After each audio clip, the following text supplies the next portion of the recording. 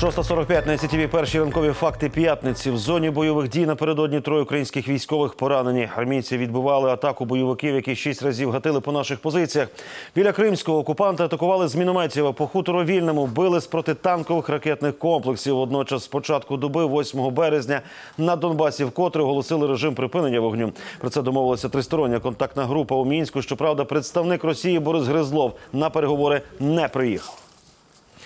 Якнайшвидше ухвалити нову редакцію статті кримінального кодексу про незаконне збагачення закликав депутатів президент Петро Порошенко. Напередодні в інтерв'ю телеканалам він запевнив, що відповідальності за незаконне збагачення не уникне ніхто, зокрема і в оборонній сфері. Адже нині щодо Укроборонпрому відкрито вже 480 кримінальних проваджень. А в усіх фігурантів корупційного скандалу провели обшук.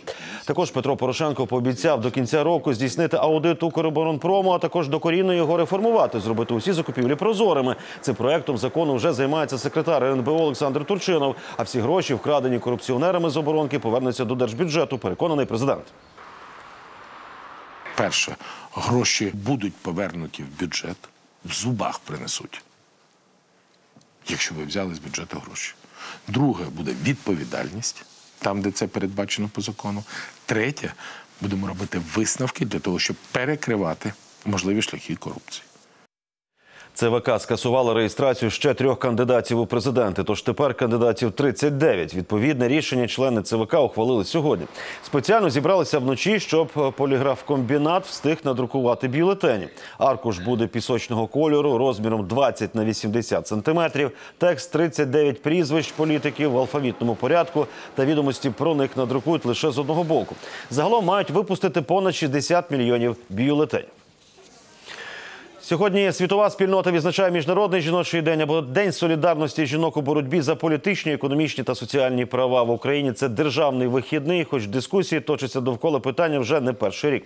Але віце-прем'єр-міністр Павло Розенко заявив, що нині є багато інших завдань. Питання скасування або перенесення свята вирішиться згодом еволюційним шляхом. Водночас останні опитування з гендерної рівності показують, що 61% опитаних українців бажали би мати більше представництва жінок у Верховній Раді. З кастрюлями та сковорідками за гендерну рівність вийшли напередодні на марш жінки Мадрида. Участь в акції, яку влаштували незадовго до півночі міжнародного жіночого дня, взяли пів тисячі сеньор і сеньоріт. Вони несли транспаранти з написами Сестро, я вірю в тебе та вигукували гасла в стилі Нехай живе боротьба жінок. Сьогодні марші та мітинги за рівні права для жінок заплановані по всій Іспанії. Нерівність найбільш помітна у соціальній сфері, однак і у професійній також дискримінація. Зокрема, жінкам платять менші зарплати ніж чоловікам. Майже чотири роки за ґратами такий вирок Полу Манафорту, колишньому керівникові виборчого штабу Дональда Трампа та експоліттехнологу Віктору Януковича. Присяжні ще влітку визнали його винним у восьми з 18 пунктів обвинувачення. Це шахрайство з податками та приховані рахунки в іноземних банках. Прокурори просили для нього 24 роки тюрми. Та Манафорт пішов на співпрацю зі слідством. Наступного тижня Манафорт матиме ще один вирок. Інший суд розглядає справу проти нього за звинуваченням у змові проти Сполучених Штатів.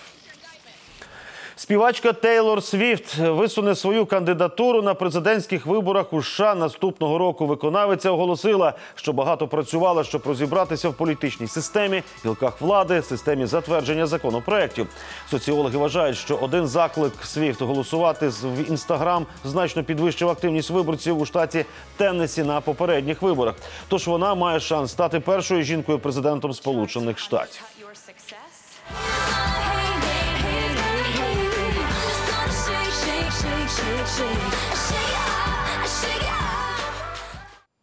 У лізі чемпіонів УЄФА Динамо Київ програло Челсі 0-3. На 17-й хвилині Педро Родрігес відкрив рахунок до кінця першого тайму. Іспанець ще двічі, двічі міг забити, але Денис Бойко врятував ситуацію. Після перерви Челсі продовжив е, пресингувати на 65-й хвилині. Вілліан бездоганно виконав штрафний, а за мить до фінального свистка забив Хадсон Одої. Відігратися в Києві киянам буде дуже непросто. Матч відповідь заплановано на 14 березня на НСК Олімпійський. Сьогодні в Україні синоптики обіцяють справжнє весняне тепло, хоча парасольки все ж можуть знадобитися. Найвища температура у західних областях до плюс 17, найхолодніше на Сумщині та Харківщині. Там стовпчик термометра не підніметься вище 9 градусів. У столиці повітря прогріється до плюс 15, можливий невеликий дощ. На заході та півночі поривчастий вітер, хмарно з проясненням.